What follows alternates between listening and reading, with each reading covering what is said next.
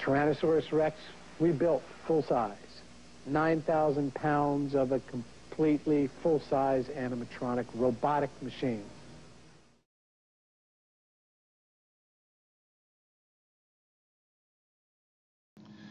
This is Richard Landon, mechanical designer for Stan Winston Studios on the original Jurassic Park project. I was in charge of creating the armature that supported the full-size sculpting stand for the T-Rex. I'm Mike Trcic, and I was one of the artists fortunate enough to work on this project. This is Shane Mahan, and we'll be talking about the creation of the sculpture of the full-size T-Rex from the first Jurassic Park. Over there, a little bit more this way. Good. Okay, go back the other way. Here's Stan talking to Steven Spielberg into the camera. It's all for you, Steven. We love dinosaurs. You're watching a very quick progression. That small fifth scale sculpture that you saw was the basis of these parts and components that you see now. We took the uh, the fifth scale, which was sculpted, and then it was cut like so many loaves of bread, if you can imagine that. Each piece was then numbered, and then the parts are cut out so that they can fit over the structure, the metallic structure that's going to support these pieces. So it's basically like constructing a, uh, a hull of a ship. You see 15, 16, so on and so on.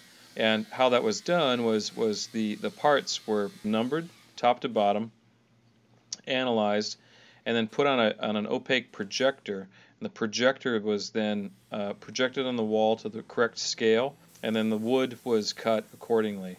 So it was all done by eye and mathematics and a lot of calculations.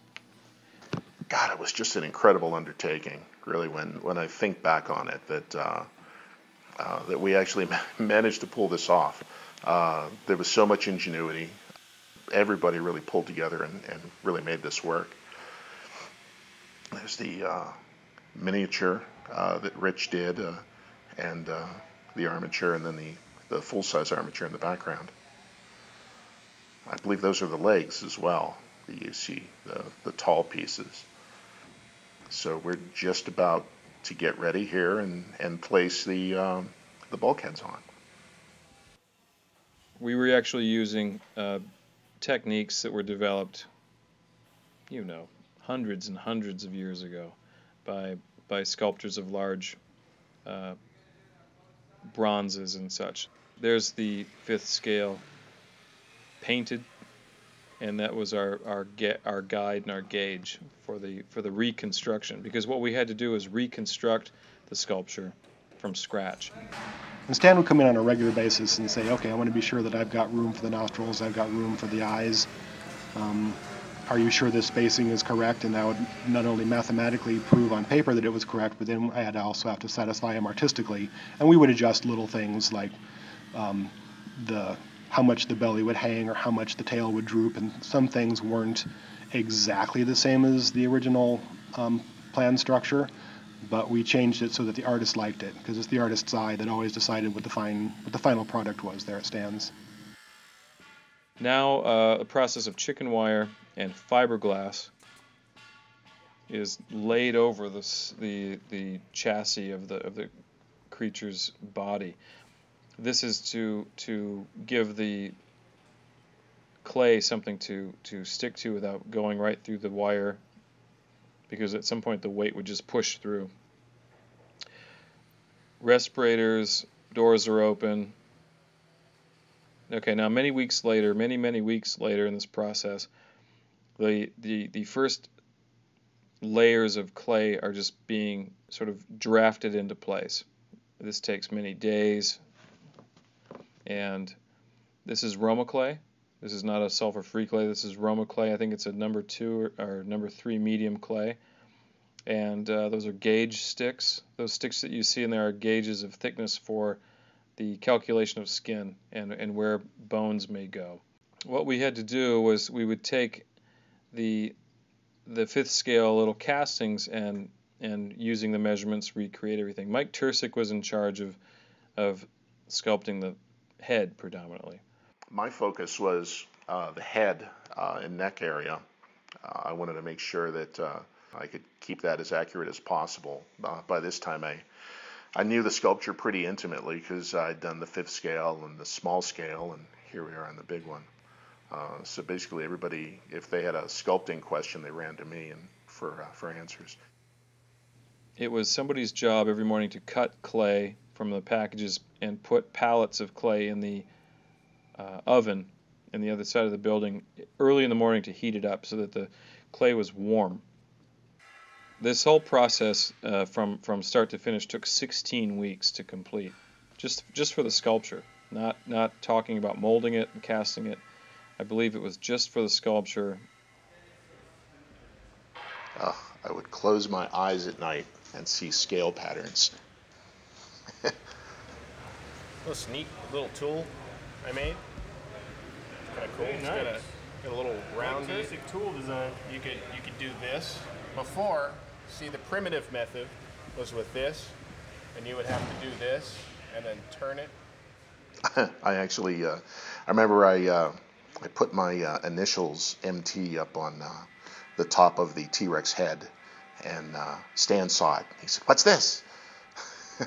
and uh, quickly I said, "Stan, you're looking at it upside down. That's not an MT. That's a WI for Winston Incorporated."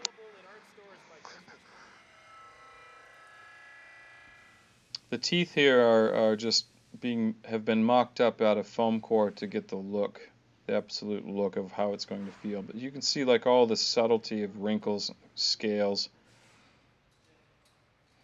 You know, this this character had to feel 100% real, or the film just did not work. Each sculptor would bring their their favorite technique and their little tricks of the trade. Some of them would take the clay and stir it up with alcohol or acetone and liquefy it, and then they could apply sort of a sluice that almost looked like uh, aged skin drawn out over an area. Other guys had different tools and techniques that they would try and teach the other guys to, to use. And over the course of the three months of the sculpture, they ended up uh, doing a really good job of doing a really unified look. Everyone had their own contribution, and yet the T-Rex looked like one creature, not a patchwork quilt of various styles. There's the full-size T-Rex, really kind of coming together. You can see the legs are on. Um, she still needs her small arms up there at the base of her neck, but she's standing up into the top of the building. They actually had to raise the roof, literally, so that when she began moving and they did the mechanical structure, she'd have somewhere to go. The small forearms were sculpted on a separate stand down a little closer to the ground, and then Stan would request on a regular basis that the whole thing be assembled so that you could tell the proportions were all correct, that uh, everything looked right in relation to one piece to the next. Spielberg came by on a regular basis too. He stayed very involved in how it looked.